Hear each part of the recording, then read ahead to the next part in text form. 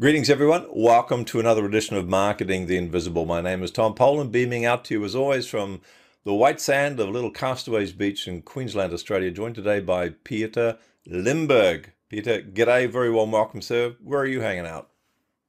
Hey, Tom. Uh, thanks for having me. I'm uh, calling in from uh, New York City, uh, warm uh, New York City at the moment, a block away from Wall Street. You got a new mayor or something there, right? Do we? oh, you don't know? Oh man, I have been heads down. This is uh, yeah. This is, you this, you at the end of the quarter. I have been I've been yeah. You so much stuff. You just voted, okay? Just in case you didn't realize that. All right, Yeah, congratulations. Uh, Thanks so much. Yeah, no, I don't have a U.S. passport. I'm uh, I'm a, a resident alien. So all right, cool bananas. Anyway, you do. You got a new mayor. So Pieter's the founder and CEO of Mobilo, the company that is making the business card cool again. Love this. So then that's actually the subject of our interview today is how to make business cards cool again. Pieter's going to show us how to do that in just seven minutes. Pieter, our time starts now, sir.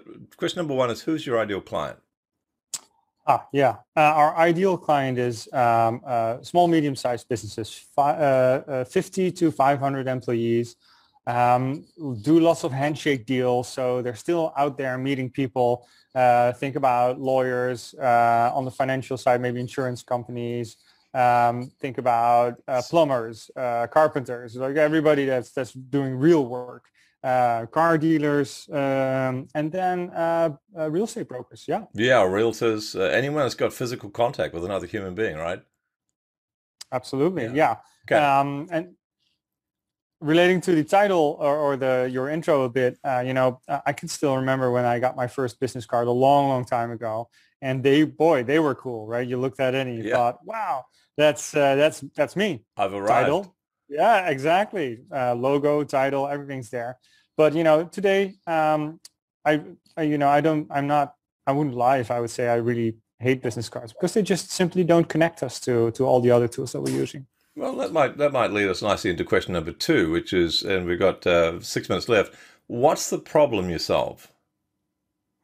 So the problem usually is, you know, imagine yourself if you would have access uh, to all the people that you met and you knew where you met them. If you would have all of their contact details, their phone number, their email address, nicely sitting inside your CRM, that if your your daily newsletter, your your weekly, monthly newsletter would actually reach them. If you would have everybody categorized, you know, if you would start doing that today, um, you would miss out on the on the last couple of years. But at least you know what you're looking forward to. Okay, so so tell us. Question three is we have five minutes left. Question three is, what are the symptoms someone's going to be experiencing that would would give kind of them a heads up that they need to look more at your your service? Yeah, so it's it's usually this. Um, you look around your desk, and somewhere in a in a corner or in a drawer, there's this huge stack of business cards. Right. And you th- and you said to yourself, someday I'm going to type them all out, put them in my computer, and follow up with these people that I've never followed up with. So uh, we often play a game internally, or or I do this with friends, and say, what do you need to do to 10x your business? Well, just tell me what needs to happen before you do 10x the revenue that you're that you're doing today. The trigger is that you start you start thinking about the real problems, and one of those solutions could be that you follow up, you follow through, you follow back, and actually speak to all the people that you've met and bring them on board inside your funnel and and actually do the hard work uh, following up. So so I would say um, look at those look at those cards, and if there's a big stack uh, somewhere in your office, then you have a problem that you need to fix. That, that's the heads up. You need to look at the solution. So, question four, four minutes left.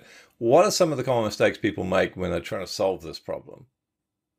They say, well, uh, I'm very good at this. I don't need a system. I don't need an Excel sheet. I don't need a CRM. Uh, yeah, exactly. I'll, up I'll trust, right. you know, I'll trust to follow up. I know you're important. I just met you. I almost forgot your name after a second of, of the first right. handshake. Right. But, uh, you know, and then still we trust ourselves. So I've already embraced my flaws and my, uh, my, my, my weaknesses and said, okay, I, I do need help with um, categorizing the people that I meet, following up, following through, following back, and making sure that that we actually, you know, uh, in a in a nice way, um, remind people that we're there, that we're here to help, and that we that we follow uh, follow through. Yeah. Perfect. Thank you. Three minutes left, sir. Question number five: uh, One valuable free action that we could you could let the audience know that they could take.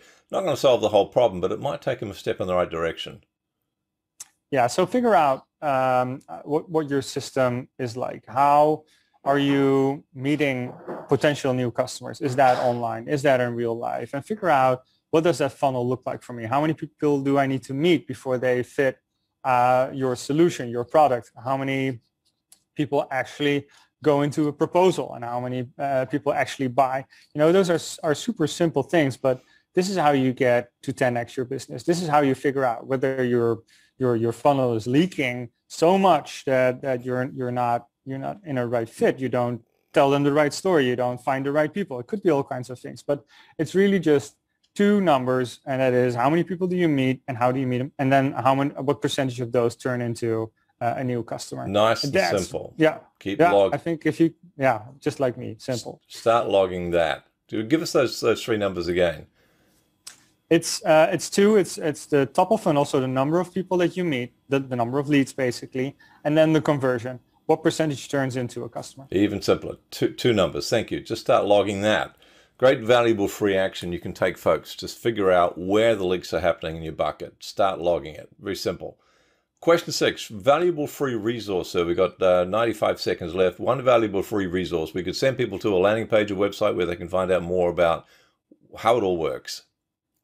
Sure, and uh, this is not uh, the solution to all of your problems, but certainly if you're thinking about wanting to make a little bit more revenue or close some more deals or have a higher chance of closing more deals, go to mobilocard.com, mobilocard.com, and um, start uh, by logging all of those contacts that you make. Use our lead generation mode to uh, in a video call, in a conference call, in a an, an, an online meeting with 30 people, and in real life, uh, in the coffee shop, wherever somebody asks for your phone number, use this tool to not only share your contact details, but exchange contact details so you have their contact details. So you'll be in control of the conversation. You'll be able to follow up. You'll be able to send information and have a good conversation. And you know you know start with the intention to help somebody not to sell but start with the intention let me see what i can do for you can i help you get a new customer can i help you get a better supplier and if you start with those two things everything's going to be okay. great thank you sir so that's m-o-b-i-l-o card.com uh, we've got 25 seconds left. What's the one question I should have asked you but didn't? Huh. Oh, yeah. If um, it's, a, it's a good question, Tom. Ask me um, if this is the end of clammy handshakes. And is it the end of clammy handshakes? well, you'll certainly be able to. Uh, you know, I think I see a lot of fist bumps. Uh, I see a lot of uh, uh people high-fiving.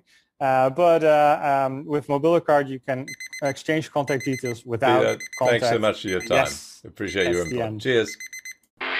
Thanks for checking out our Marketing the Invisible podcast. If you like what we're doing here, please head over to iTunes to subscribe, rate us, and leave us a review. It's very much appreciated. And if you want to generate five fresh leads in just five hours, then check out www.5hourchallenge.com.